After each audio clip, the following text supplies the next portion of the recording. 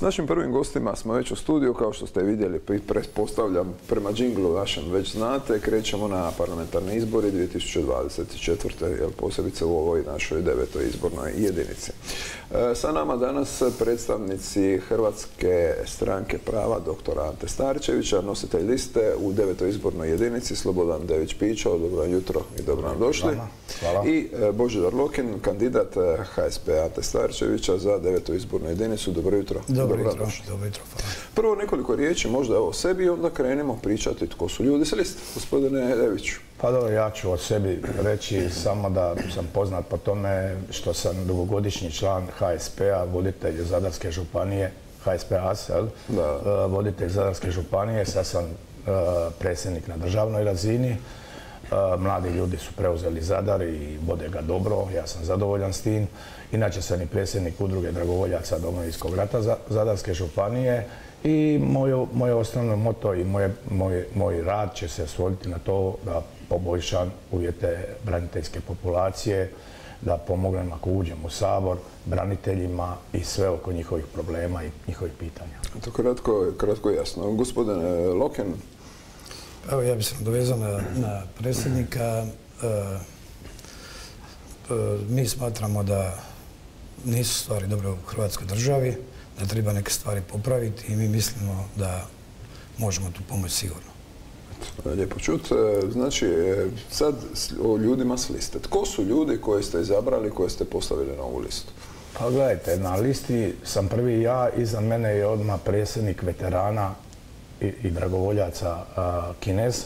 Ivica Mikulić, jedan istaknuti branitelj, predsjednik isto jedne velike udruge. To su dvije najveće udruge u Zadarskoj županiji. Dalje imamo liječnike, imamo farmaceute, imamo mlade školovane ljude, imamo i našega Klarića koji je županijski vijećnik trenutno, koji je na prošlim izborima dodušao u domovinskom pokretu osvojio 6000 glasova i otišao iz njega jer nije zadovoljan bio sa njihovim radom. Došao je kod nas pomoći nama jer e, naša borba za boljitak, za mladost, za mlade ljude, za sve što se dešava negativno u Hrvatskoj je prepoznata i mi se borimo da na neki način svoj e, kao prvaši istaknemo sve probleme kako u zdravstvu, u školstvu, u odgoju mladih, u vrtićima. Evo sad sam njemu ispričao ispred vrata da jedan naš vrhunski liječnik nije mogao smjestiti dvoje djece u vrtić a da mu se nije pomoglo preko veze. To je žalosno. Liječnici odlaze zato što nemaju, uh, što imaju problema sa djecom. Nemaju gdje smjestiti u vrtić. To su problemi. Ja ne kažem da vlast koja je sad trenutno na vlasti ne radi na tome, ali je to sporo. Grad raste. Grad je u zadnjih deset godina sa 30.000 stanovnika dogura do 100. Vrtića nema. Evo, ja ću vam reći, moj mjesni odbor Ričine, koji ima preko 3000 stanovnika, nema školu. 21. stoljeće, moj mjesni odbor nema školu. Da, vratimo se malo na ljude sa liste, pa ćemo poslije još... Znači, ljudi sa liste su mladi, mladi, školovani, fakultetski obrazovani, branitelji. E, mogu reći o njima sve najbolje. To su ljudi koji žele raditi, koji potežu za stranku. E, iz raznih krajeva su županije. Mi nismo išli na široku, široku ovaj, e, obuhvatili sve. Mhm. Obuhvatili smo nešto Šibenika, Zadra i tako. Mi smo stranka koja ima 20.000 članova u Hrvatskoj. I izašli smo samo u, devetoj izbornoj jedinici jer financijski, e, financije nam ne dozvoljavaju baš da mi idemo i na televizije i na plake, uh, plakate, idemo da plakate, na letke, na ovo, na ono. Mi što imamo, to radimo sami. Drugo, mi smo se bazirali na jednu drugu stvar. Ne trošiti novac okolo. Mi smo kupili sad za uskrs 3000 jaja, 170 pogača i odnijeli u pučku kužinu. Mi smo u prošlu subotu imali svoj štand HSP dr. Ante Starčević, gdje smo kupili tisuću eura pašte, soli, ulja, vegete, ovoga onoga i dijelili to na sajmu kod uh, Marijane Ikići i, i, i, i ovaj... I prijatelja, i prijatelja, i znači, tako plemenito dijele nama, na sajmu nama i nije, odjeću i hranu, tako je, nama nije cilj da, da trošimo novac na ništa drugo nego da pomognemo. Bili smo na primjer u azilu za pse.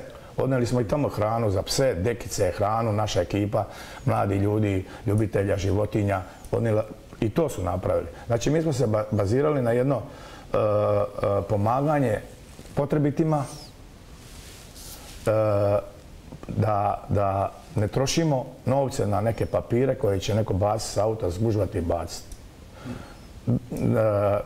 Moje mišljenje je da grad treba raditi na tome, da pomogne sirotinji, da vrati mlade ljude nazad, da mladim ljudima država, grad ili županija da terene za izgradnju kuća obiteljskih, da im se pomogne, da se rade zgrade, da se mladi vrate, da mladi čovjek može useliti, oženiti se, stvoriti djecu, imati vrtić, imati stan i krenuti uh, u Hrvatskoj uh, raditi Da. na dobrobit naroda. Da, naravno, evo, vratit ćemo se na, na vaše programske teme. Poslije, no, ja bih za početak pitao zašto, evo, e, gospodine Lokin, zašto ste izašli sami sad na ove izbore, jel? Zašto je HSP Ante Staričević je samostalno izašao? Da, ovaj, mi jesmo bili u pregovorima s određenim strankama, razgovarali smo o tome.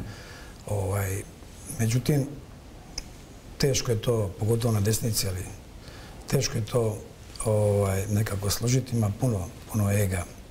Mi smo pokušali sve da stvorimo jednu koaliciju i da pokušamo izići u koaliciji ovaj, skupa. Međutim, nije do toga došlo mi smo izišli samostalno i smatramo da kako stvari stoje sada na terenu, smatramo da nismo falili. Znači smatramo da, da je to po meni ovaj, na Dobar ispalo dobar, ovaj, dobar potez. E, a zašto još smo izišli sami?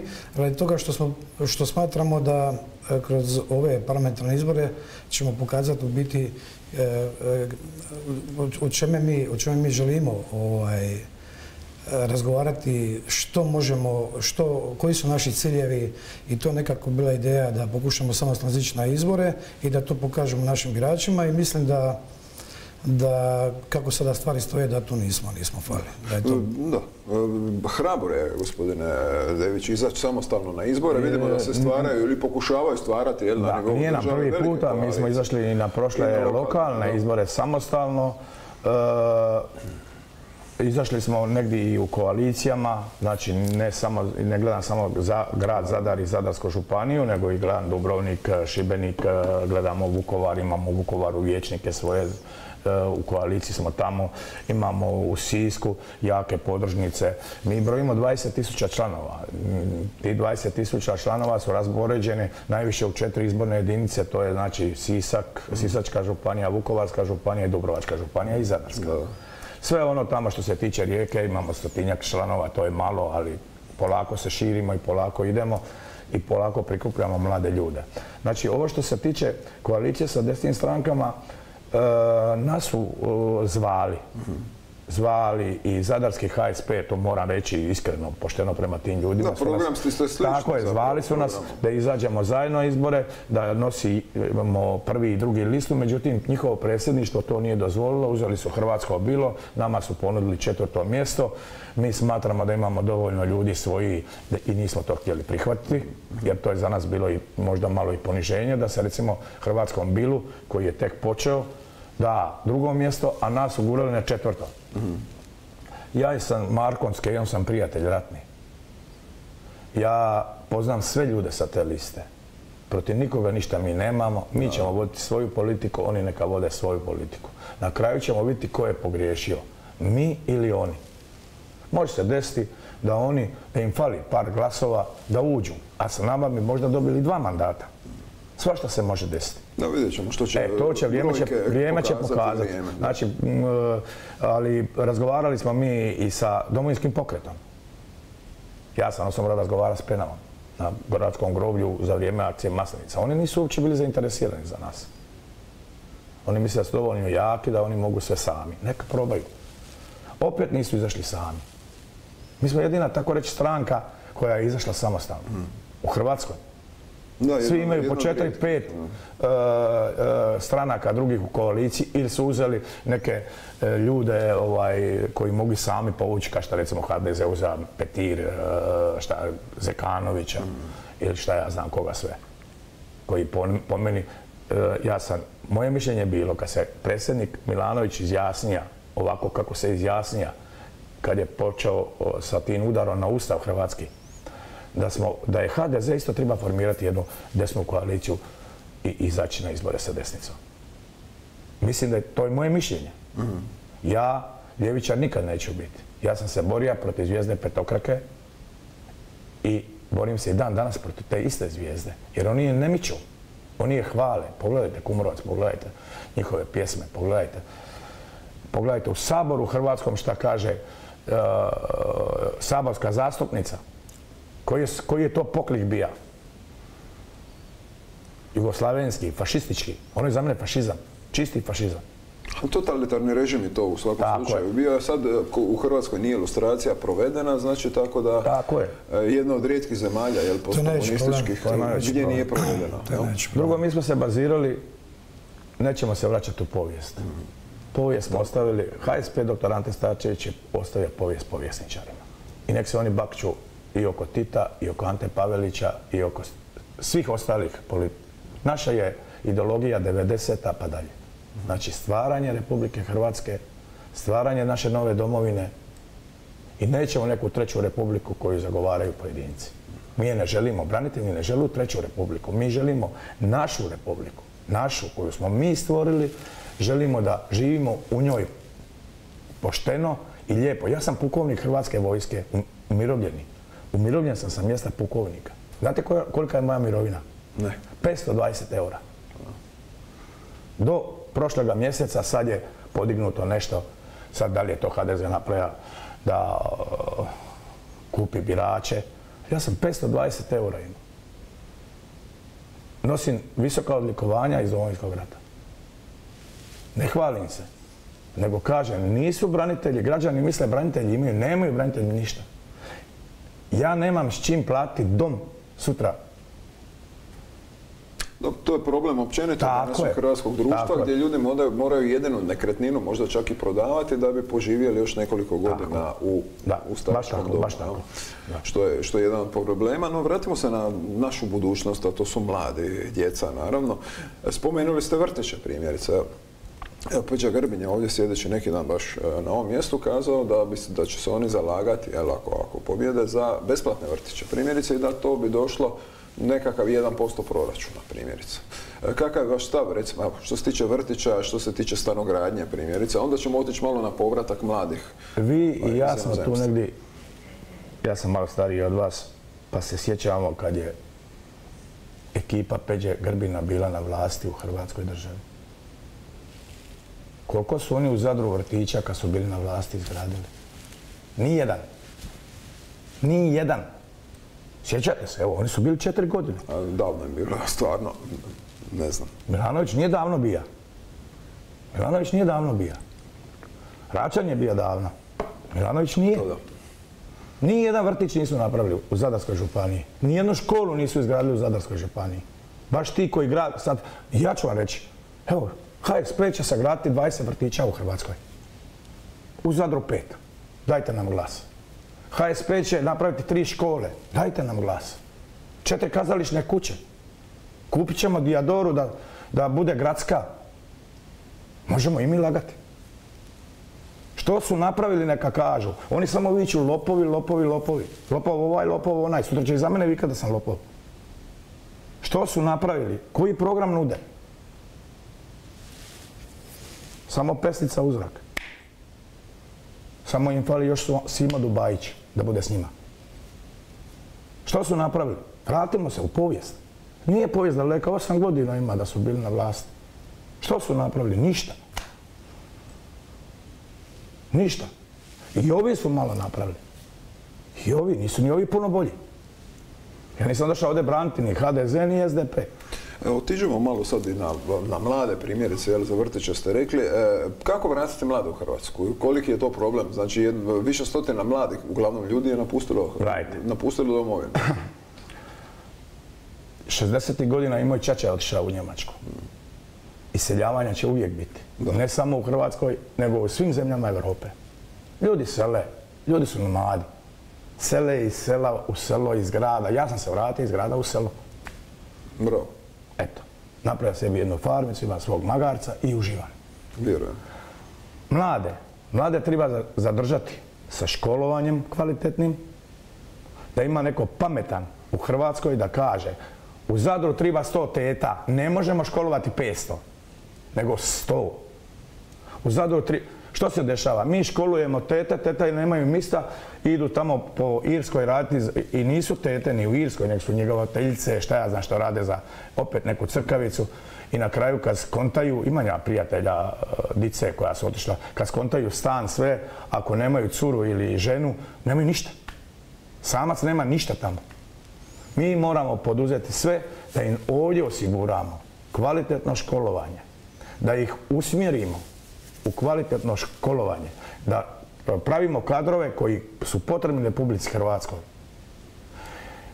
Uz to da im radimo vrtiće, prije što sam rekao stanove, plaće, sve ovisi da zadržite mladog čovjeka. Ma nije mladom čovjeku, rekao sam vam prije, ima oni koji će dignuti, vole putovati, dignut će repicu i otići iz Hrvatske. Ali oni koji žele živjeti u Hrvatskoj, njima treba dati sve. I samo se treba voditi mi stari, trebamo brinuti se o našim mladima. To je bit priče. Nije bit priče, hoće li neko otići, hoće neko, njegov će sigurno, od njegova tri sina će neko sigurno otići. Reći čača, nemoj se ljuti, ja idem malo vidjeti svijeta. Pa ako mu se svidi, pa naće tamo curu, pa će ostati. To je to. A to je Ali žalostno je što se naša dica ovdje, uvoze se radna snaga, crna, žuta, nisam šovinista, da me ne bi krivo neko shvatio. Ali puno će šetati dice crne po, po Hrvatskoj. Jer nema i ko praviti. Puno. Vratit ćemo se i na tu temu. Vrijeme nam protječe, ostalo nam još e, m- manje, malo manje od 15 minuta. E, Otiđimo malo evo sad i na građane treće dobe. Gospodine Lokim, što se Pa zalažete za njih? Znači, pa imamo situaciju koja, je- koja se svakodnevno viđa. jeli. E, čovjek ima svoj radni vijek, radi, uplaćuje socijalno, mirovinsko, zdravstveno i dođu u neku dob i dođu u situaciju da se ne može liječiti, da su duga čekanja i to je po pitanju zdravstva ili starijih ljudi. I šta onda radi? Onda ako ima sina, zeta, unuka koji će pomoći poći privatno riješiti taj problem. To nije dobro. E, drugo, mi imamo malo pravih staračkih domova, znači za treću dob. Ovo što su privatni starački domovi, to nisu starački domovi, to su, ja ne znam kako bih ih nazvao. Rupe. E, to je kod da sam poslao svog roditelja da pođe ovaj, umri tamo. Znači da smatram država, država, županija, županije moraju više poduzeti da se više stvaraju starački domovi kao što su poput Svinge, gdje su vlasnici, gdje je vlasnik županija ovaj, takvih domova, gdje će u tom domu biti njima osigurano sve od zdravstvenih radnika, od sve ono što treba čovjeku da može produžiti svoj vijek. Jel? I ja smatram da država općenito ovaj, po tome malo radi i da su mi zanemarili tu treću dob. I da se mora pokušati, zapravo ne da se mora pokušati, da se moraju početi stvarati takvi starački domovi gdje će biti vlasnik država, gdje će ljudi e, starije, e, starije dobi moći poći ovaj, u takve staračke domove, radi toga što nemaju novaca za privatne staračke domove koji su u rangu županijskih staračkih domova. I ovaj, mislim da je tu država zakazala i da zakazuje da je to ono prvo što se mora napraviti za tu treću dobu. Isto tako se moram malo referirati na, na, na predsjednika po pitanju naših ljudi mladi koji odlaze vanka. Znači, meni nije normalno da mi školujemo doktora, pravnika, inženjera, da država ulaže u njega i da ga pušte da otiže vanka, a da nije poduzela ništa da ga zadrži. Nije njemu bitan samo posao. Znači, negdje oko 38% mladih u razmišljanjima razmišlja otići vanka. E, njima nije sve u, samom poslu, nego i u situaciji u državi, o nezadovoljstvu, o, o, o, neke druge stvari utječu da li bi on ostali otišao vanka. Znači, jedno smo imali, imali smo, ovo, što je vlada donila ovaj zakon 30.000 eura za povrat mladih obitelji iz... Ja mislim da je to podcjenjivački. Znači njima nije bitno ti 30.000 eura da bi se oni vratili nazad u Hrvatsku državu, nego što je malo prije predsjednik rekao, njima treba osigurati one bitne stvari, da bi zadržali našu mladu inteligenciju, da bi ih vratili nazad, osigurati ovaj, zemljište za gradnju kuća, osigurati im povoljne, kredite, da se oni mogu vratiti ili on, da dođe, ako bi želio negdje raditi, mora imati riješeno stambeno pitanje. Tako da, da to su, to su, to su, to su, ili povoljno državno iznajmljivanje stana. Može biti državno, bravo. Kvadrat stana koji je iznad 3000 eura, ko to može platiti od mladih obitelji? Nemoguće, Imamo neke primjere u nekim, u nekim gradovima gdje je jedan grad, neću, neću govoriti da ga ne reklamiram, koji je, on je uspio prije, gradonačelnik tog grada, uspio prije deseta godina e, vojarne vratiti nazad na gradu i u tom gradu su rađeni stanovi za socijalu, rađeni su poslovi stanovi, i rađeni su poslovni prostori za, mlade obrtnike raznih profila da bi ih zadržao. E, I to je po meni u jednom takvom malom gradu to bi trebalo preslikati na, na, na državu. I kažem da, a što se tiče još jedan put e, treće dobi, smatram da država mora poduzeti puno više toga, da oni mogu e, svoj, ovaj, svoj život produžiti koju godinu, znači da moraju se početi graditi starački domovi koji će biti pod županijom ili pod državom, kao god to nazvati, da mogu ovaj, sufinancirati ovaj, ostatak e, plaćanja, plaćanja... Znači da ne moraju prodavati nekretninu da, da, bi... Da nema svak djece, nema svak bogate djece, nema svak unuka. I imamo primjere svakodnevne ovaj, gdje ljudi na listi čekanja, to ću malo kasnije ovaj, proći, čekati po 6, 7, 8 mjeseci i, ovaj, i, duže. i ovaj, on to ne dočeka, jer umeđu vremenu i umre, zavisno koje bolesti boluje. Ali ako ima unuka, sina, nekoga, onda će on to poći privatno riješiti, ali to nije rješenje, jer ti ljudi su uplaćivali socijalno mirovinsko zdravstveno i oni trebaju imati skrb da, se, da, da, da, da bude kvalitetna. Po meni je Hrvatsko daleko kvaliteta, ali to ćemo se malo kasnije uvatiti. Da, vrijeme nam leti, e, krenimo malo i na evo, Istanbulska konvencija, kako je vaše razmišljanje o njoj? Znači, rodna ideologija, prava žena, evo, obično desne stranke kažu da su u okviru prava žena u, zamagljena ta, i ta, recimo, ta rodna ideologija. A gledajte, po meni prava žena treba prepustiti ženama. Znači, njeno pravo, da li će roditi ili neće roditi, to ona mora sama odlučiti. Ipak je ona majka. Svi mi imamo majke i svi mi naše majke poštujemo iz nekih određenih razloga. Ja nisam da se, za to da se djeca daju istospolnim parovima, to, sam protiv toga. Znači, neshvatljivo je da se jedna curica digne i da ima e, dva muškarca kod sebe u kući i da ne zna koga će zvat mama, koga će zvat tata. To je neshvatljivo. I da ti, i, što od te djece možete sutra očekivati, nego da budu isti kao i oni. A možda to dijete kad se rodilo ne želi biti takvo kako, ih neka, obitelj koja će ih usvojiti e, stvara. Ali što, jedno dijete od tri godine može znati ako vidi dva, muškarca, dva oca da je odgajaju? Što ono može dati? Pogotovo ako je curica. Jer tu se ne priča ko, ko koje dite može uzesti. Znači, protiv toga jesam. Isto spolni parovi da usvajaju djecu, ja to ne bi dozvolio da sam na vlasti. Eto, toliko, toliko o tome. Krećemo dalje. Evo, izbori, e, manjine, iseljeništvo. E, osam saborskih zastupnika za manjine u Republici Hrvatskoj, tri primjerice za iseljeništvo. Kažu da vani živi još jedna Hrvatska, znači 3,5-4 milijuna ljudi. Mislim, ne možda prvo koljeno, ali drugo, mladi ljudi koji govore hrvatski. Znači, smatrate li da ovaj kako ga neki nazivaju etnobiznis manjina, da bi trebalo malo zakinuti? A vi znate da su Hrvati u Hrvatskoj građani drugog reda. Zašto? Baš zbog tih manjina. Jer jedan Srbin u Hrvatskoj može glasati za 12. izbornu jedinicu svoju, za svog predstavnika i za SDP ili za HSP, AS su rijetki, ima branitelja, Srba, svaka im čast, odanih Hrvatskoj, odani svemu ne pada im na pamet da glasaju za srpske stranke. Ja imam branitelja koji su sa mnom bili vrhunski branitelji. Znači, mi smo građani drugog reda. Oni imaju dva glasa, mi imamo jedan. Oni upravljaju državom, bar se to pokazalo do sad, bez manjina ne bi bilo vlasti. Znači, oni su ti koji kroju državu Hrvatsku. I normalno je da oni, oni su imali ministarska mjesta, oni su imali sve. Manjine neka idu sa svim listama pa ko pobjedi, nek naprave svoju stranku. Znači, normalno. Normalno, bez, bez nikakvih manjina.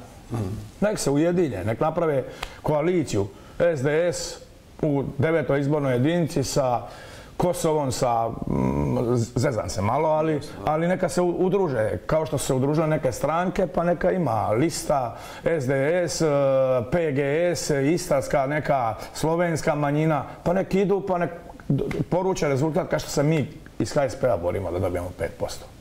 Dobro, eto, toliko o manjinama. E, za hrvatsku desnicu smo već rekli, teško se može ujediniti, da li su to ega, da li su to problemi, uvijek se priča o udruživanju hrvatske desnice koja bi čak imala, znači, nekakvih sigurnih 20% je li, na izborima kad bi, kad bi izašli zajedno, no čini mi se da je to nemoguće. Prije svega je to ego. Znači, malo prije sam rekao, znači, mi, mi smo u zadnjih 4-5 godina e, razgovarali normalno sa, sa desnicom, sa određenim strankama, međutim, uvijek je tu isti problem. I ovaj, mislim da će to biti teško, teško, ovaj, teško to nekako ovaj, staviti pod isti kišobran. Međutim, mi smo prije e, za zadnje EU parlamentarne izbore, tako, i, ovaj, tada smo se mi skupili pod kišobranom Ovaj, nadali smo se tada suverenisti svi, tu je bilo 4-5 stranaka, poslije se to razišlo. I tu smo pokušali, onda kad došlo do određenog stupnja, opet taj ego prorada određenih ljudi, pa tu je među nama bio i Hrvoje Zekanović, ovaj, koji je tu cijelu priču i srušio u konačnici, ali ovaj, toga, tako mi se nadamo, ali u budućnosti bez, bez udruženja desnice teško će biti ispoljiti bolji rezultat, dobiti neki 15-20%. Sa 15-20% desnica bi puno toga, ovaj, e, o, puno stvari odlučivala tada u Hrvatskoj državi. Korektiv bi bila, Da, možemo da, reći. da. Pa ne, evo, pogledajte neke evropske države gdje desnica vlada. I, i ovaj, što, što tu nije, do- do- da, da- meni je najgora stvar kad neko, neko uh, ko je ljevičar, kad priča o desnici, on je želi, želi e, dočarati kao to su neki tamo ljudi, ne znam, Babaroge. babaroge, nepismeni, njima je samo bitno drugi svjetski rat. e, A da znači mi, što rekao malo prije predsjednik, mi kad pričamo, mi smo okruženi mladim ljudima koji su i doktori, koji su pravnici, koji su inženjeri, razno razne profile. Mladi ljudi što je nama drago, ovaj, koji su uključili, mi imamo teme današnjeg života, teme gdje će biti Hrvatska za pet godina, za deset godina, što treba mijenjati u Hrvatskoj, što ne valja u Hrvatskoj. I onda se nama dogodi, ovo malo prije smo rekli da imamo tri saborska zastupnika iz SDSS-a koji uvjetuju HDZ i guraju neke druge stvari, pa i neke druge stvari koje ovaj, o, nisu dobre za Hrvatsku. Ali i to nije dobro. Po meni ovaj, e, smatram da desnica mora, mora sisti skupa, mora početi razgovarati, mora iznjedriti jednog lidera, mora iznjedriti jednog lidera i ovaj, mislim da će to biti zajamčen rezultat ovaj, e, na izborima, pa to ću sada vratiti na lokalne izbore, pa vraću sada i prije toga na EU parlamentarne izbore koji dolaze. Ako to napravi desnica, opet će polučiti jedan dobar rezultat, opet će biti ovaj, iz desnice ljudi u, u Briselu. Evo, možda za pred kraj nekoliko riječi na nacionalnoj razini, pošto ste vi predsjednik stranke nacionalno. Znači, kako vlada vlada, kratko, i onda ćemo se vratiti malo na, rije- na e, rijeke pravde, također SDP, koaliciju. Bilo, bilo bi ružno reći da se nisu desile neke promjene u zadnje vrijeme i sa plaćama i sa mirovinama i sa radnim mjestima i sa...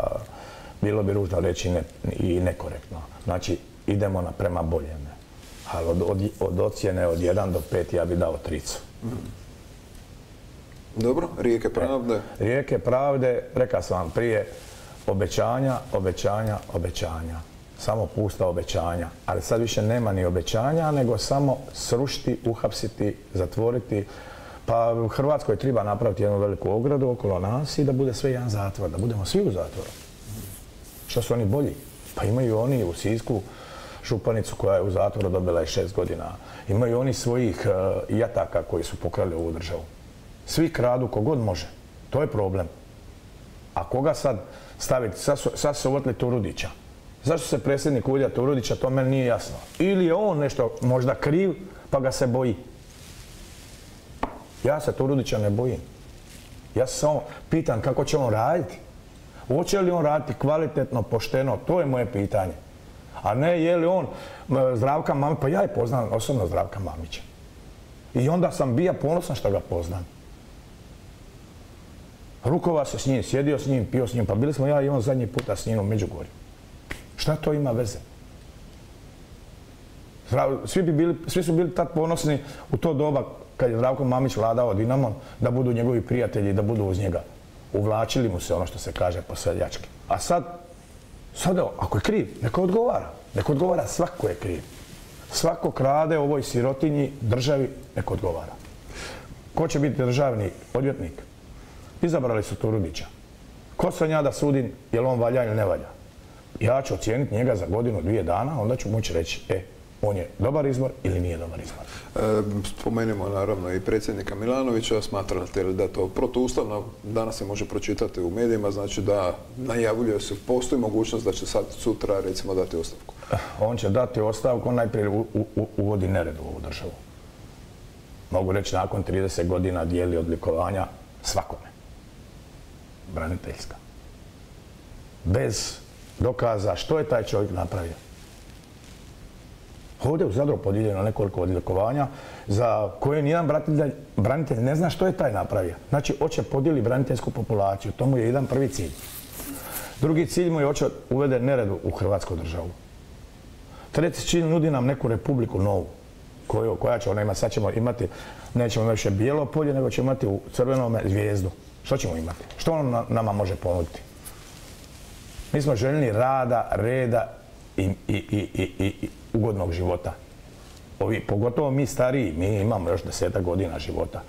Što se ja trebam sad slušati kako se on tamo bezobrazno ponaša na televiziji. Proziva sve, svakoga. To predsjednik. To predsjednik. Za mene to nije predsjednik. Eto, gospodine Pićo, vrijeme nam je isteklo. E, vaša je kamera, poručite braniteljima, poručite ljudima koji, za koje mislite, jeli, vašim, vašim biračima i onima možda koji će to tek postati. Znači, zašto da glasaju za Hrvatsku stranku prava? E, za Hrvatsku stranku prava e, nedavno sam rekao da, da nije bačen glas. Mi kad glasate za Hrvatsku stranku prava, glasate za istinske domoljube, za mlade ljude, za budućnost Hrvatske. E, danas e, mi u Hrvatskoj živimo ispod prosjeka, e, pomoćemo ako budemo ušli na vlast, bar sa svojim jednim glasom, dva glasa u Sabor. Pomoćemo, čuće se nas glas, branit ću prava hrvatskih branitelja, to mi je dužnost kao ratnom zapovjedniku, kao e, časniku Hrvatske vojske, kao predsjedniku udruge.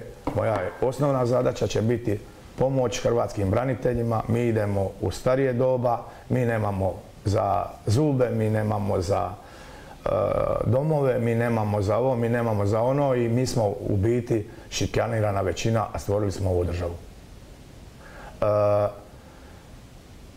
Mnogi kažu što ćemo za vas glasati, nećete proći. E, to je pogrešno. To je pogrešno. dajte vi nama vaš glas, pa ako se desi da uđemo, vidit ćete koliko ćemo znati u Hrvatskom saboru. hvala, vam lijepa na, na ovim riječima, hvala lijepa na gostovanju današnjoj emisiji. Hvala Dragi gledatelji, mi krećemo dalje, idemo malo malu stanku. Sljedeći gost nam je Josip Bilaver s Hrvatske demokratske zajednice, znači također kandidat u devetoj izbornoj jedinici, no do tada idemo na malu stanku.